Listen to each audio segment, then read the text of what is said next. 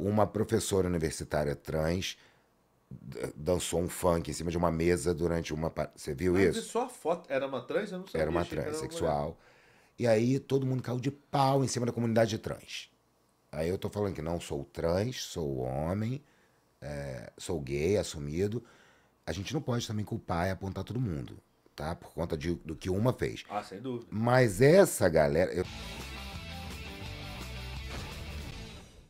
estamos aqui com a nossa querida Olha aí, ó. Seguro. Essa aí eu vou te falar que essa casa me surpreendeu, rapaz. Por quê? Diga lá, É fala muito- pro pessoal. É, é bem boa, viu, cara? Eu não conhecia, entrei pra jogar nessa daí, porque eu, eu jogo quase em todos pra ver qual é. Sim. Porra, é bem legal essa Seguro Bet. Você tem um link aí pra entrar? Tenho, tá aqui na, na Então, descrição. é, então entra pelo link do Barba, se for matar a curiosidade lá, entra pelo do Bar pra dar moral pro, pro podcast. Mas, Dá porra, uma essa moral casa lá. é bem legal, viu, cara? Cara, eu gosto. E assim, a gente tem feito um trabalho de comparação de odds, entendeu? A gente, como a Seguro É a mais alta. é a mais É a alta. mais alta. É a mais alta. E, e, tipo assim, Tá regulamentado. tá regulamentada. E além disso, por isso, por ela tá ser uma, uma casa mais nova, ela paga muito bem. Então, não vai usar o dinheiro da tua grana que você precisa pra, É, né? não seja otário, só É, isso. é. Só não ser trouxa. É só não ser trouxa. Mas olha só, você me perguntou como é que foi lá na Disney, né? É, quer dizer, foi lá a minha viagem. Pra quem não sabe, eu estava na Disney, entrevistei até o Monark e o Rica Perrone aqui. Foi uma ótima viagem. Mas eu pude perceber que nos parques da Disney a lacração fica de fora. Beto Cardoso, Beto Cascado, Cardoso, né? Beto Cascado. E que, o que explica, por exemplo, a Disney querer fazer um remake de Branca de Neve e os Sete Anões sem anões. Uhum. Aí depois todo mundo caiu de pau, aí botaram um anão pra fazer é, computação gráfica e um anão vai fazer sete anões, né? Mas vai ser uma coisa de computação gráfica lá, Sim. mais parecida com os anões do, do, do, do próprio desenho. Mas antes a ideia nem era essa, né? Antes a Sim, ideia sim. era, era, como é que era? Era Branca de Neve da diversidade. Era cada um de uma cor, de um tamanho. A própria Branca de Neve não é muito branca, né? Não. nesse- nesse E não é mais bonita que a bruxa. Não é mais bonita que a bruxa. Então se a bruxa falar... Isso é um reflexo da agenda woke? Então, é, é isso que eu ia te perguntar. É um reflexo da agenda woke?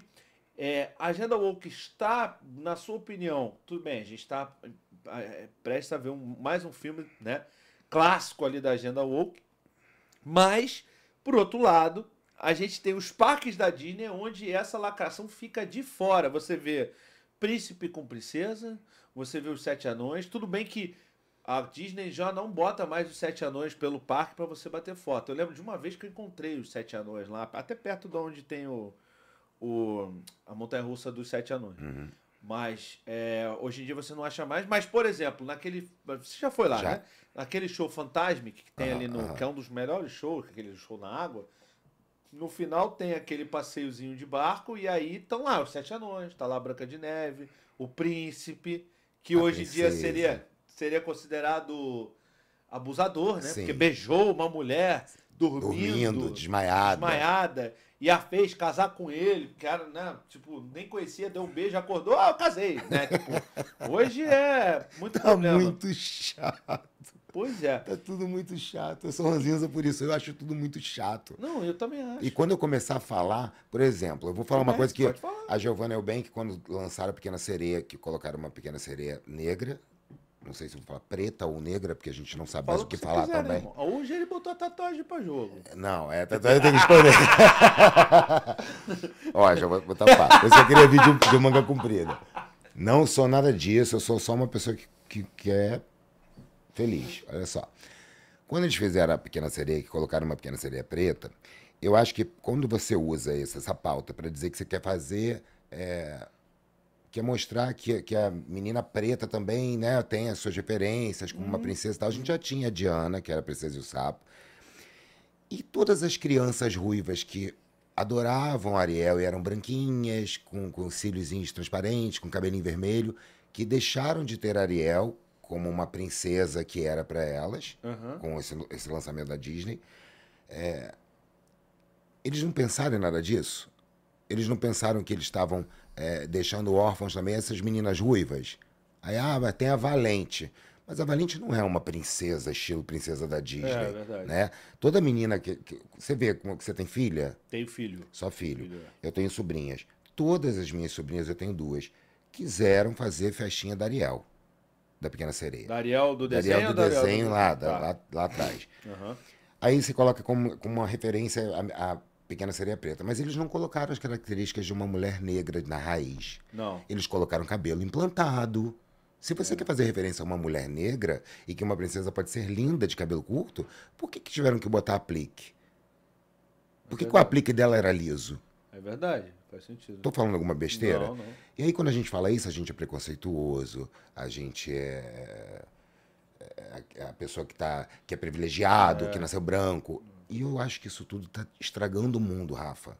Isso tá estragando o mundo de uma tal forma. Aí quando você vê artistas aqui do Brasil também, como a nossa queridinha, a, a rainha dos baixinhos, que começa a levantar bandeirinha, bandeirinha, e falou essa semana aí pra Jojo, decepção, decepção é a senhora. Decepção é a senhora. Calma, não vamos atropelar. Não, eu não porque- consigo. Quando eu falo o nome dessa mulher, Não, eu já, é- me- já, fico- já fico nervoso. Não, não, a gente vai falar Por sobre conta ela. da, da quantidade de asneiras que tem saído da boca A dessa gente senhora. vai falar dela. Eu só tô falando assim, vamos organizar aqui É, a pauta, porque senão. desculpa, mas eu fico senão irritado. fica difícil.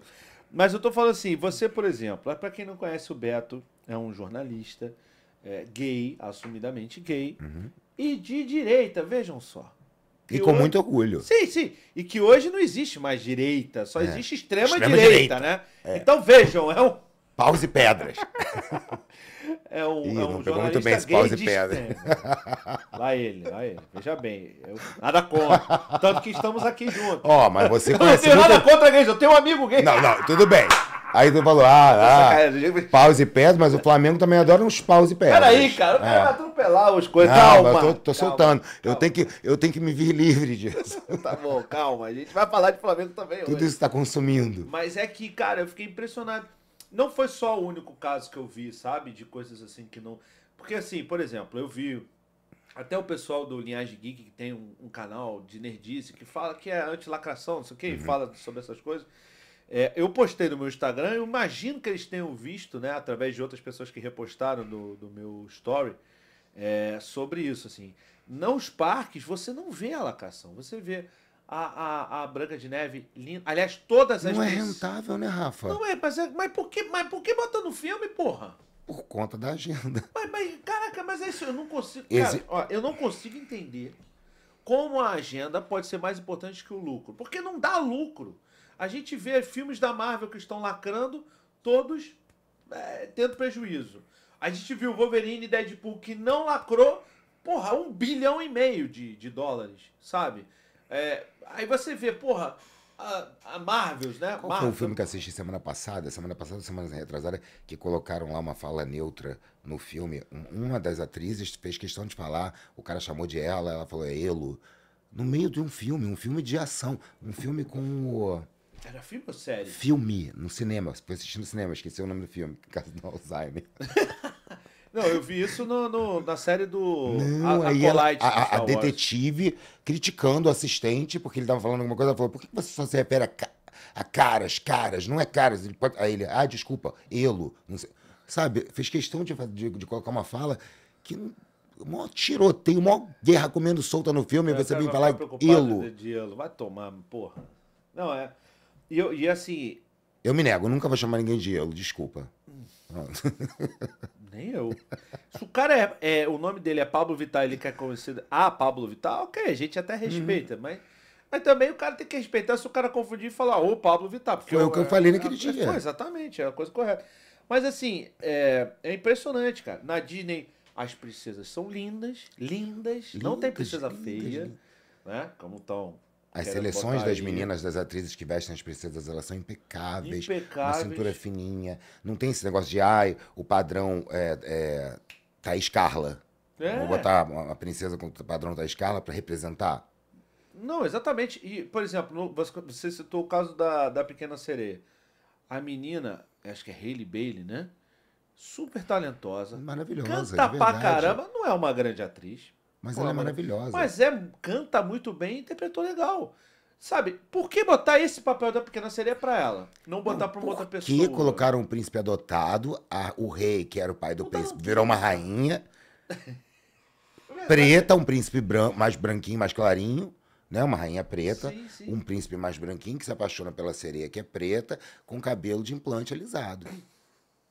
Não, e o filme. e o distorcem tudo, acabam com a memória afetiva que a gente tem do- da, da- da- primeira versão. E É. a gente cresceu com isso. Sim. Imagina, é o mesmo que botar agora, tirar o- um conto do Hans Christian Andersen do Pequeno Patinho e botar é, o Pequeno Patinho gay.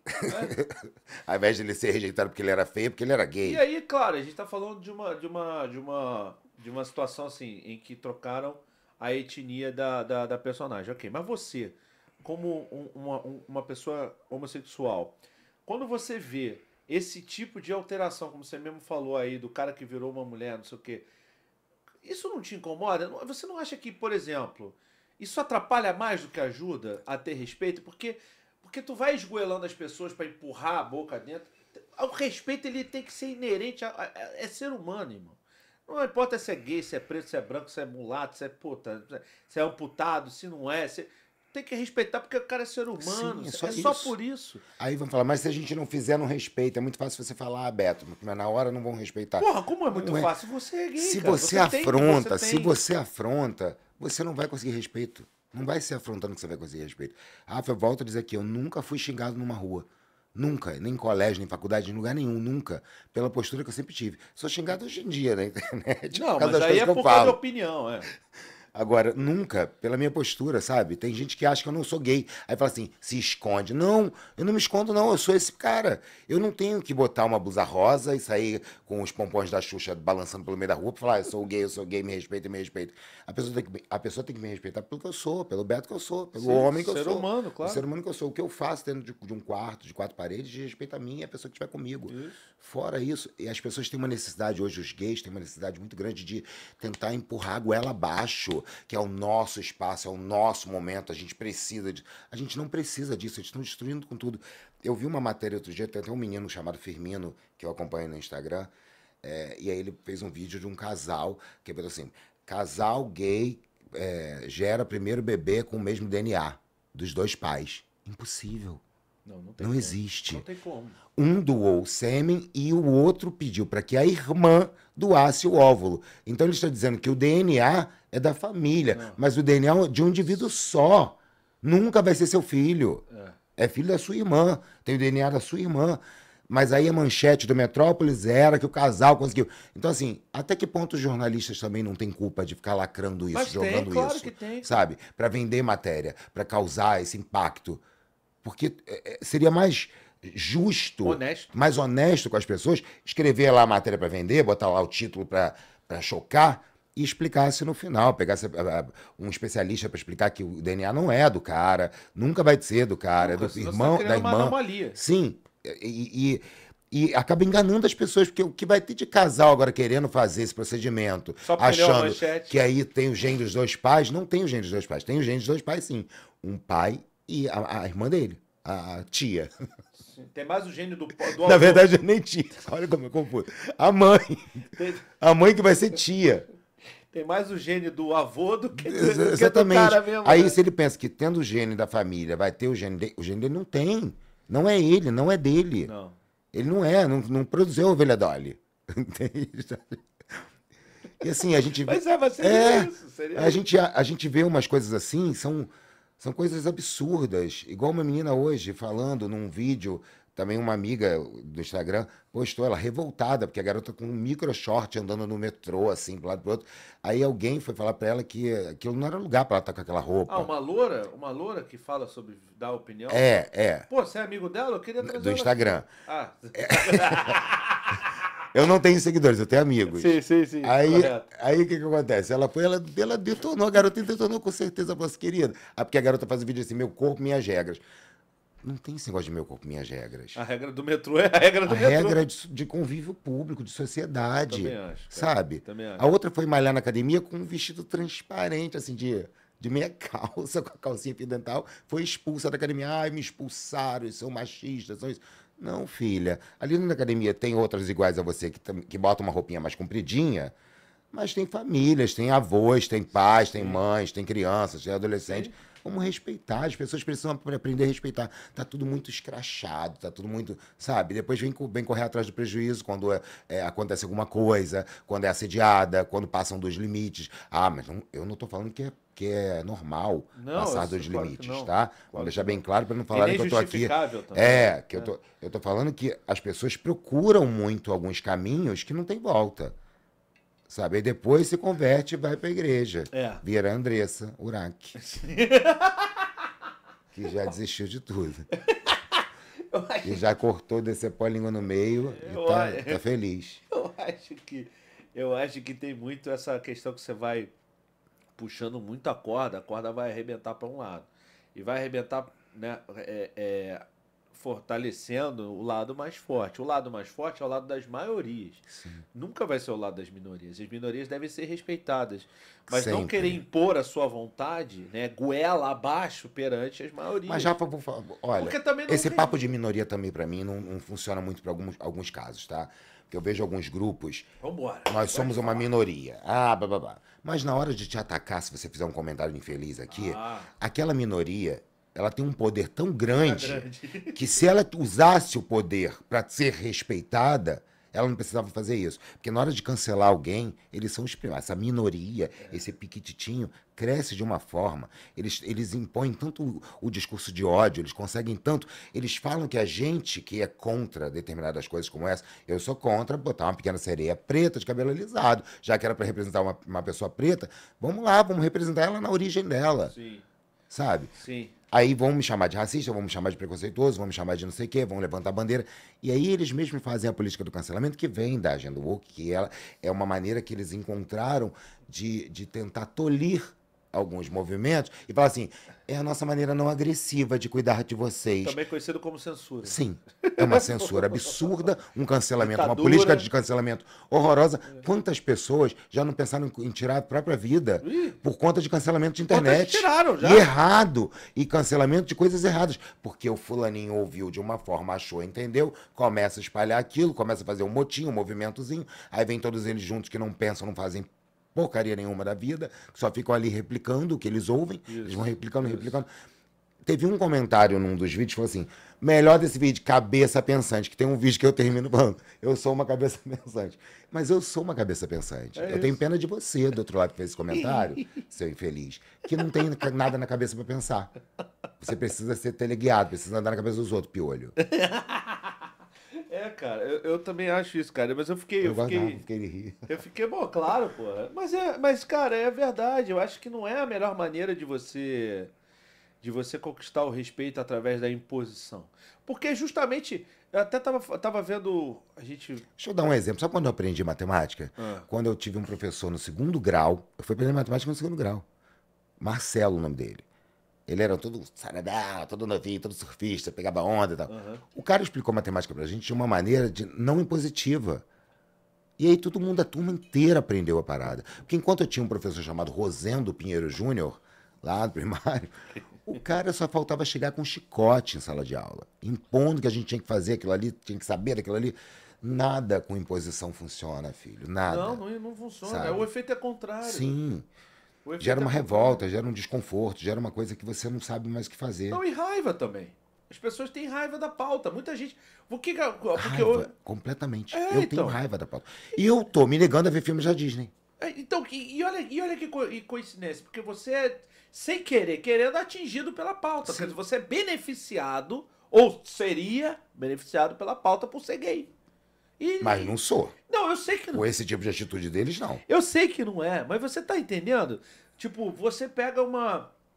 Você pega assim. impo- Cara, olha só, qualquer ditadura se, se, se mantém pela imposição, né? De ideias, de, de valores, de leis. Tá É tudo imposto. Nada é. Tudo, tudo é você. É, é goela abaixo.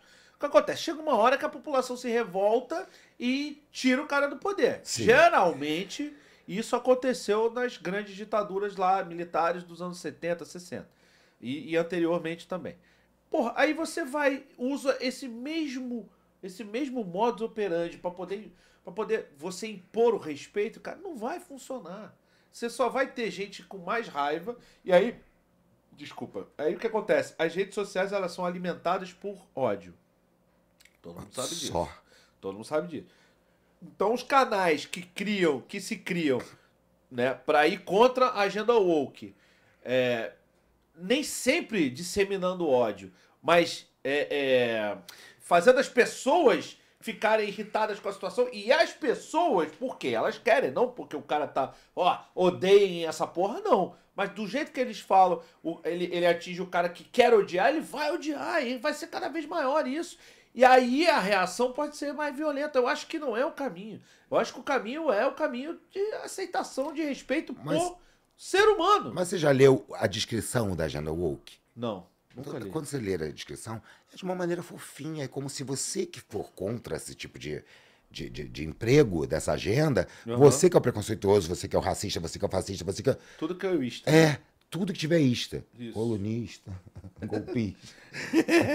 Mas, na verdade, aquilo ali é um disfarce. Eles estão enfiando isso goela abaixo das pessoas e o efeito está sendo contrário. Você vê isso, você citou as bilheterias dos filmes e tudo mais. Tá todo mundo odiando tudo, tá todo mundo. é, as pessoas estão deixando de ir ao cinema. Sim. Quando vê que é, que é uma, uma, uma coisa que vai ter algum cunho, é, entre aspas, social, ou que vai abordar algum Agenda, tema desse, agenda. dessa agenda. Aham. Né? Tô falando para as pessoas que não têm conhecimento da agenda. Claro, claro, As claro. Tem gente que odeia isso, não sabe nem o que, que é a agenda woke, não sabe nem que, que existe uma agenda que foi Sim. criada, bababá. É, eles precisavam mudar essa maneira de pensar. Eu quero falar uma coisa sobre esse lance da agenda woke e sobre comportamento, antes de a gente fechar esse assunto, que aconteceu essa semana passada, acho que você estava lá fora. Ah. Uma professora universitária trans dançou um funk em cima de uma mesa durante uma. Você viu vi isso? só a foto. Era uma trans? Eu não sabia. Era uma era transexual. E aí todo mundo caiu de pau em cima da comunidade trans. Aí eu tô falando que não sou trans, sou homem, é, sou gay, assumido. A gente não pode também culpar e apontar todo mundo, tá? Por conta de- do que uma fez. Ah, sem dúvida. Mas essa galera, eu, eu tenho até uma, uma amiga minha que é MC trans, ela é, é uma funkeira. A gente é, é completamente contrário, assim, os nossos discursos são completamente contrários, mas eu respeito ela e ela nunca me desrespeitou. E eu achei o posicionamento dela bem legal, porque ao invés de ela atacar a trans como a própria comunidade trans estava fazendo com a garota, ela deu um toque para que ela, ela, ela acaba sujando a imagem de todas as outras, Claro. fazendo algo desse tipo. Então eu achei isso tão interessante de uma pessoa que vive uma realidade, que está no lugar de fala dela, como todo mundo adora falar, né? Estou no meu lugar de fala, eu não posso falar porque eu não sou trans, mas ela está. Ela chegar, ao invés de ela impulsionar o discurso de ódio, ela foi lá e eh, colocou para a garota que não achou certo o que ela fez, é, que não era a maneira correta de agir, porque com isso ela acaba manchando a imagem das outras. Enquanto eu vi outras do segmento detonando, tentando ser politicamente correta, o, o conservador de direita, e que não é. Porque se você está do lado oposto do que eu estou, você não pode ter o mesmo discurso que eu. Você tem que se posicionar. É verdade. Você tem que abraçar a amiguinha que botou a bunda ali pra cima, rebolou de calcinha, de fio dental e cantando dentro de uma universidade. Você não podia atacar. Então, como é que elas querem ter respeito se elas são as primeiras a atacar? E é isso que eu, é isso que eu sempre falo. geralmente, quem mais pede a tolerância é quem é mais intolerante. É o que é mais intolerante. É quem mais ataca. É, É quem mais puxa o discurso de ódio. pois é. Levanta a bandeirinha. Não tem Bizarro. bandeira colorida, é bandeira de ódio. É, é- essa é a verdade. Todas essas minorias, elas, a primeira bandeira que elas levantam não é da cor, não é do sexo, é do ódio. E contra qualquer pessoa Que é diferente dela. que é diferente delas. É isso.